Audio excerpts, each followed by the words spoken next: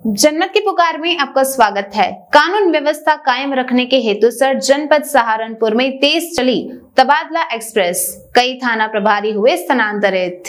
उत्तर प्रदेश में जनपद सहारनपुर के वरिष्ठ पुलिस अधीक्षक डॉक्टर विपिन ताड़ा ने कानून व्यवस्था को दुरुस्त करने के उद्देश्य से सहारनपुर में तबादला एक्सप्रेस से स्पीड बढ़ाते हुए ज़िले में थाना प्रभारियों के कार्य क्षेत्रों में परिवर्तन किया है।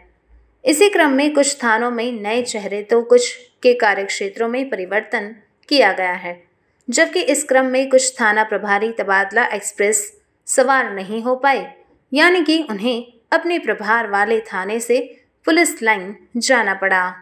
अगर आपने हमारा अभी तक चैनल सब्सक्राइब नहीं किया है तो कृपया चैनल सब्सक्राइब कर लें, लाइक करें, शेयर करें, कमेंट करें। तो मिलते हैं फिर किसी और खबरों के साथ। नमस्कार।